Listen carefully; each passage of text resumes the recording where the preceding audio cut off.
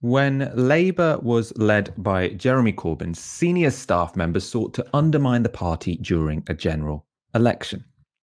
How did the BBC react to this news? Silence. However, this Thursday, Newsnight set aside a whole 20 minutes to expose the scandal of Unite the Union organising to deselect a few right wing MPs. A movement founded with the highest of ideals a movement always bedeviled by profound differences, and in recent years, a movement laid low by bitter divisions. It's the honour of my lifetime to lead this great movement. A new era now with a leader pledged to restore unity. But as Keir Starmer experiences a tough period, divisions are bursting into the open. Foul play comes the cry from adversaries of the left as Newsnight sees evidence of the depth of planning on the left to challenge established Labour figures. I think up and down the country, there were attempts to destabilise Labour MPs, to get rid of them. I think if people had known that these conversations were taking place when they were taking place, there would have been real shock. I think even Jeremy Corbyn would have uh, condemned that kind of behaviour. So you've got the gloomy music uh, Nick Watt, the, the host, is talking about the depth of planning on the left. Tom Watson is saying the plans were so scandalous that Jeremy Corbyn would have opposed them. This was all people trying to destabilize Labour MPs. Let's take a look at what this sinister plot amounted to. It's explained by Nick Watt via some leaked emails. A new flare up of old embers after Newsnight saw emails by a West Midland Unite activist outlining plans to try and unseat leading Labour figures. In an email dated the 12th of February 2018, addressed to a senior Unite official, Howard Beckett, the activist Steve Price outlined plans to influence the selection of councillors and to put the skids under the former minister John Spellar and Tom Watson, who was then Labour's deputy leader. Newsnight has also seen internal Unite emails in which officials discuss Mr. Price's first email. One said that one hour may not be enough time to deal with all the issues he had raised. In a second email on the 15th of March 2018, addressed to Howard Beckett, Steve Price wrote of how his networking was vital in building up trusted left roots in 59 constituencies. Finally, Steve Price wrote that it had been agreed that he would be paid, but he needed a form of words to describe what he was, wait for it, not doing. All of that sinister music, you know, all of those tones of voice of what were the left organizing to do, it all amounts to in 2018, a trade union, Unite, organizing with an activist who wanted to deselect some MPs who the trade union weren't politically aligned with. That include people included people like Tom Watson and John Spellar. This is not a big deal, right? Trade unions are supposed to have an influence in political parties. Trade unions have always tried to influence selections. If you want to influence who is an MP in a Labour seat, what you're first going to have to do is deselect a Labour MP. This is all completely normal. And it's especially normal considering that in 2018 you had Tom Watson actively working to undermine the electoral chances of the Labour Party. I don't understand how they've managed to get a story out of this, but they have. Um, and they've employed all the old usual suspects to essentially pretend to be outraged that anyone could possibly fight battles within the Labour Party instead of battling the Tories. It's outrageous that at a time when all our focus should have been on uh, defeating the Conservative government in the interests of the people whom we're elected to represent. That the Unite, our biggest union, that there was a discussion going on about how to undermine sitting MPs and get rid of them in something like 59 constituencies, that there was a discussion about getting rid of councillors who didn't meet the political agenda of the few people at the top of Unite. There was a discussion about sacking key officials at the Labour Party, the General Secretary, and uh, the official in charge of looking at anti Semitic complaints. And there was a discussion about placing people in seats where uh, MPs were retiring or those seats were seen as marginal. It is appalling to envisage that all that was going on when we were all trying to defeat the Conservative government. And as a trade union, never has it been more important for them to do their day job, which is to defend their members' interests against all the changes that come from the gig economy, from insecure labour, and from the challenge to employment rights.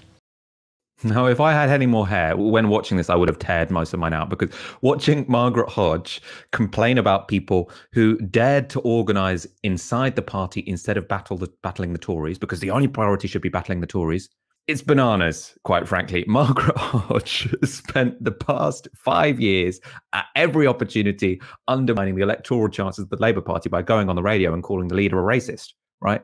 She had a vote of no confidence in the democratically elected leader. She had no interest in Labour winning any elections during those whole five years, yet she's allowed to go on Newsnight and claim to be outraged that anyone did any completely legitimate organising within the Labour Party. She even made it sound sinister that Unite wanted to help select MPs, even in seats where the sitting MP was was resigning. You know, no one in their right mind thinks that's remotely sinister. I'm obviously in favour of mandatory deselection. I think it's perfectly within any activist's right to try and deselect a sitting MP who they don't feel is properly representing them. But she made it seem like even placing an MP where someone is resigning is a problem.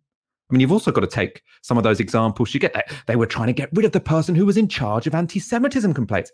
Now, you've got to remember, Margaret Hodge, the rest of the time, is saying the anti Semitism complaints were dealt with so poorly. Why do you think they were maybe trying to get rid of that guy? Right? She also says they were trying to get rid of the General Secretary. We know from the Labour leaks that the General Secretary partook in conversations where people were incredibly disappointed that Labour had taken Theresa May's majority off her. So for Newsnight to allow this to be pitched as there were some left wingers who were too distracted to win elections when literally talking to some of the people who were most obsessed with undermining Labour's chances is very, very bad journalism. The story doesn't end there because Hodge didn't just sort of take pride of place in this Newsnight segment. She has also um, used this story of these leaked emails, which I find very inoffensive, um, to notify the police. She's told the police on Unite the Union, in particular Howard Beckett. Let's go to a tweet. This is what she sent during the show as it was airing. Yesterday, I wrote to the Met Police concerning an alleged criminal offence by the trade union Unite that I have been made aware of. I have now called for an immediate police investigation. Why is this a police investigation? Obviously, they might complain about MPs getting deselected from their jobs for life. That's not a police issue. Her claim is what's dodgy um, is the funding of this or the potential funding of this. So let's look at her explanation of what she thinks was unlawful. I have recently seen emails suggesting that Unite top officials have been covertly funding political activities, keeping this secret from its hardworking members. If true, this is unlawful. Now, the emails in question were shown in the Newsnight report. They're from an activist, Steve Price, um, who suggested that Howard Beckett, who's the Assistant General Secretary of Unite, had agreed he would be paid for the organising he did. Now, this would be problematic if it happened and was not declared when trade unions do political campaigning with their money, which is perfectly legitimate. They're supposed to say they've done it and say how they spent it. So if this happened without being declared, it would be problematic. But there is no evidence that happened. All there is evidence of is one activist saying, oh, someone told me I could get paid, and no one replying. On Newsnight, Howard Beckett, who is the person um, who these allegations are essentially being targeted towards, he responded to the allegations. Yes, uh, Steve made a proposal to me and I decided to go in a different direction. There was nothing wrong with the proposal that Steve made. The idea that t- Tom Watson is shocked by this uh, is quite extraordinary, but uh, I decided to go in a different direction, including our political officers. So, no, the arrangement never was for- formalized with Steve. Uh, but as I say, there's certainly nothing wrong with the suggestions that was made in his email. You say n- never formalized, you went in a different direction, but it is very odd language. For instance, can you explain what's going on here? I need a form of words to describe what I am not doing. If there's nothing wrong with that, why does he need a form of words to describe what he isn't doing?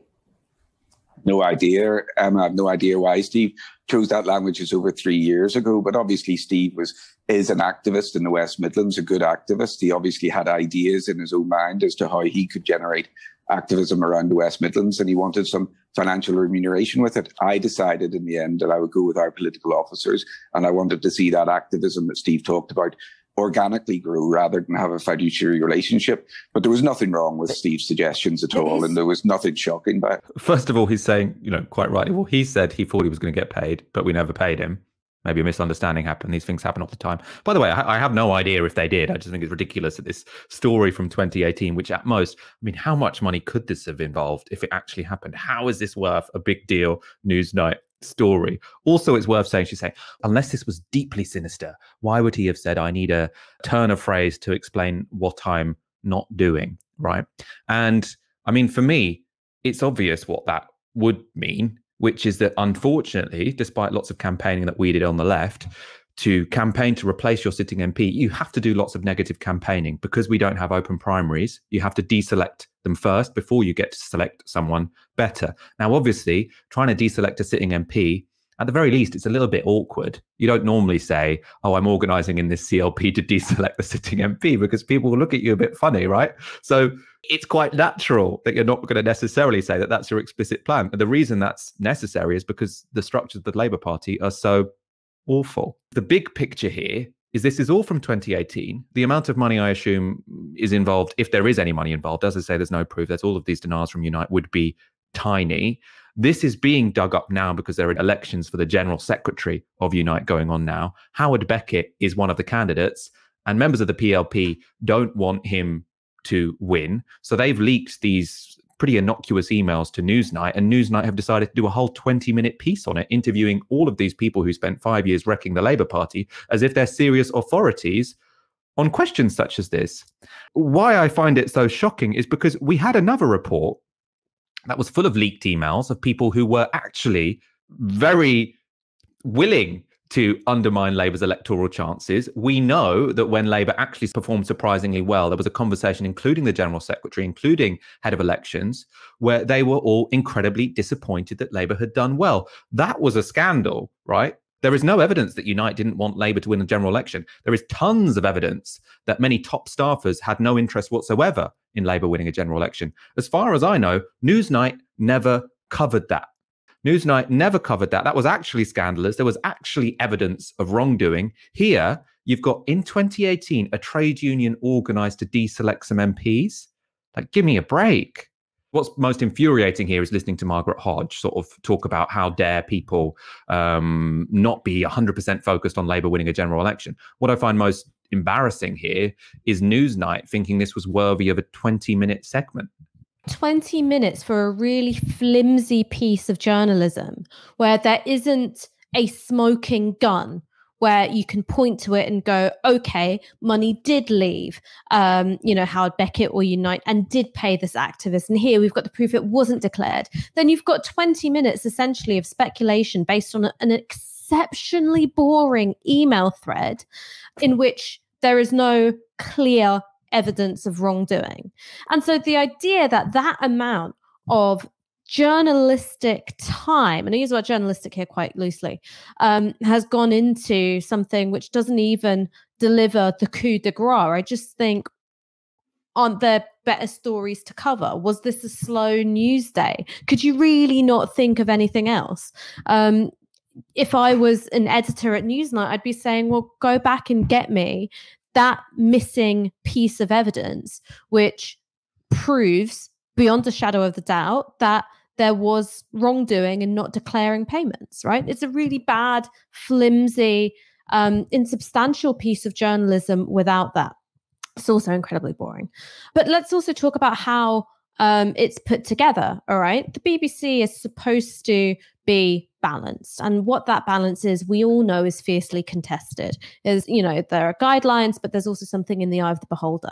But one of the things that I thought would involve being balanced would be putting, I think, tougher questions to Tom Watson and to Margaret Hodge. So when she's coming out and she's saying, this is when all of us should have been focused on defeating the Tories, then you I think quite fairly go, but didn't you put a motion of no confidence in Jeremy Corbyn the year before. Um, if you've got uh, Tom Watson saying, you know, I don't even think Jeremy Corbyn would approve of such behaviours, you know, wouldn't there have been a conversation about, well, hang on, um, Momentum, the campaigning organisation close to Corbyn, was trying to make open selections a reality. You know, it was yourself and many others who put the kibosh on that. So the very basic forms of stress testing that you would expect uh, from journalists to be put to these figures didn't happen. So for the BBC, I think it is it worse than embarrassing. It's actually, you know, undignified and I think raises serious questions for the credibility of all those involved. But let's get back to, you know, the kind of, you know, when you've got a story like this, which is essentially so bureaucratic, tedious, um, and you know, flimsy that it doesn't have a killer blow, you kind of have to squint at it to see what the picture is, right? It's kind of impressionistic. Essentially, what this is trying to achieve is an overall, I think, smear of Howard Beckett, who is one of the left candidates in the uh, race to replace uh, Len McCluskey uh, as General Secretary of Unite. But it's also, I think, serving this purpose of trying to delegitimize the role of unions in the Labour Party. Now, the Labour Party came out of the trade unions, it came out of the Labour movement. And obviously, as a lot's changed in terms of, you know, trade union membership, trade union militancy, and also the decline of industrial labour, of course, there have been huge changes um, in, in terms of that historic role of the trade unions within the Labour Party. But essentially, the principle is that the party is itself the political expression of organised labour. Right, that's still supposed to be the point. Now, you do have a tendency, a wing within the Labour Party, you know, kind of most perfectly encapsulated by Peter Mandelson, who thinks that that shouldn't be what the Labour Party is about, that they should essentially be um, a kind of technocratic, managerial, and sort of bit more redistributive party, which from a lofty distance operates in the interests of those who it deems to be uh, the less well off, but, you know, fundamentally isn't about empowering them. And the Peter Mandelson theory is that if you do break the reliance of the Labour Party on its trade union funding, then, well, you just rely on big money donors. The problem is, is that under the leadership of Keir Starmer, there has been a decline in trade union funding, and there hasn't been a huge return of the big money donors that the likes of Peter Mandelson would like to see come back to the party. So, in terms of political strategy, this is, I think, entirely uh, counterproductive because one, one of the broad brushes that the public emerges with is like, oh, this is another Labour infighting story. All right. No one gives a shit about 2018. You know, few people could tell you the real difference between Tom Watson and Jeremy Corbyn. All right. It's these aren't things which anyone other than, you know, really like clued in politicos will care that much about, right? The bigger picture is one of our oh, Labour's a bit of a mess again. Two, you're alienating uh, one of the party's biggest funders without an alternative stream of funding in place, right? These big money donors are not coming back. And three, what you end up with, I think, is, is, is a strange thing to do, which is if you're the Labour right and what you want is for Howard Beckett to be drummed out of the Unite le- leadership race, well, at the moment, there are multiple left wing candidates, right? And it's if you keep all of them in the race, you have an increased likelihood of someone who is, you know, kind of more affiliated with the right of Unite, you know, coming through as the left wing vote gets split. So I think doing a big hit job on Howard Beckett is, you know, what if he did, you know, leave the race? Well, that's actually a bit worse for your guy um, because you still get another lefty coming through and perhaps uh, winning the general secretary position. So yeah, just embarrassing, poorly thought out, unstrategic and I just I I was watching that segment mostly because you told me to, Michael, and I was like, how is this going on for so long? you can go and watch that on iPlayer if you want. Thursday night on Newsnight. I laughed out loud a few times just because of how ridiculous it was. One thing I do want to mention, right? So there are two there are two ways that story could have been relevant. So one, it's the whole sort of like deselection is an illegitimate thing to do, right? Which I've explained enough times why I think is ridiculous. The other is this is a bad story of money being used illegitimately in politics. Now, you've got to think here. I've got no idea if this money changed hand. Obviously, Howard Beckett's denying it. it. Seems like their evidence is very, very weak. But the amount of money you'd pay an organizer to help deselect some people is is not much money. You know, you're talking a couple of grand or something. Again, this is completely hypothetical. Now, yesterday, another story about money in politics broke, which was that a lord who Boris Johnson gave a peerage despite objections from the House of Lords Ethics Committee, gave the Conservative Party half a million pounds three days after being sworn in to the House of Lords. Now, that's a genuine story about money in politics. That's a lot of money changing hands, and it's a lot of money changing hands between an elite with vested interests and the party in power. This was a trade union whose job it is, or one of their key jobs is to organize to make political change and who have every right to organize in selection campaigns. Potentially, they've denied it, but the allegation is paying one activist a bit of money to tide him over while he's organizing. It's it's completely ridiculous. We've got one more clip of it for you because I want to show you how biased the host was in the discussion afterwards. Before um, we do that, if you are enjoying tonight's show, please do subscribe because we don't do arbitrary hit jobs on trade unions with no evidence.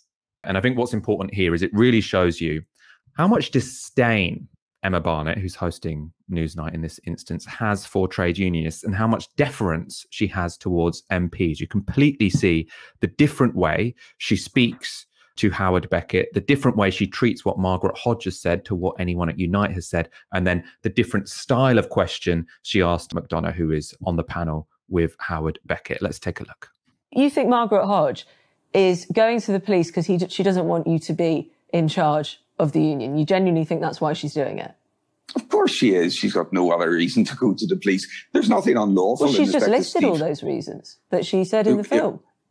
Well, I'm not sure what she listed, Emma. You, you must have heard something said that I didn't hear say, because what I heard from Margaret Hodge was we should all have been working to defeat the Tories in 2017. Well, she called it appalling. She called and it appalling, and, and she's concerned about third party payments and potential criminal activity. C- can I just bring it on to, though? I suppose if you're watching at home Emma, and you're that's not. language. That, uh, Emma, just, just as so as I can just say, Yes. because this is ridiculous language and this is the BBC. There is no criminal activity in respect to this. If we wanted to engage someone to generate activism within the region, or if we wanted to ask a third party to sponsor someone to engage in political activity in a region, that is completely and utterly appropriate. And that is democracy in play. There's no criminal Okay, me- activity. Margaret Hodge is making a political stunt As you have said. And right, she, let and, me- and, let me and come the back to you just- hypocrisy and the hypocrisy, Emma, sorry, the hypocrisy of her making the political stunt whenever she undermined the efforts to get a socialist government in 2017 is risible. Howard, I'll come back to you in just a moment. Siobhan, to bring you in at this point. Uh, what? There's no, nothing wrong with this, according to Howard Beckett. This is what unions do. All of those questions, whether or not they were put towards Howard Beckett or Siobhan McDonagh, were hostile towards Howard Beckett. So first of all, she says, "Do you do you really think? Are you are you really suggesting that Margaret Hodge could call the police because of political reasons? You know what? You know, it almost implied in her voice that this is an outrageous thing to say. That she's, he says, well, I don't know what her reasons were. She listed those reasons. She called it appalling. You know, she's she's really challenging Howard Beckett. How could you possibly question the motives of Margaret? Then when she goes to Siobhan McDonagh, her question is essentially, isn't what Howard Beckett's saying ridiculous? She says, they say it's completely normal for trade unions to do this. Do you think this? Now that uh, that's not a challenge to Siobhan McDonagh. That's an invitation to trash trade unions. As I say, we haven't showed you the whole piece. You can go watch the whole thing yourself. This is definitely a fair reflection of the tone of the whole piece. But I, I just find that open disdain for trade unionists and especially left wing trade unionists compared to the deference towards MPs appalling.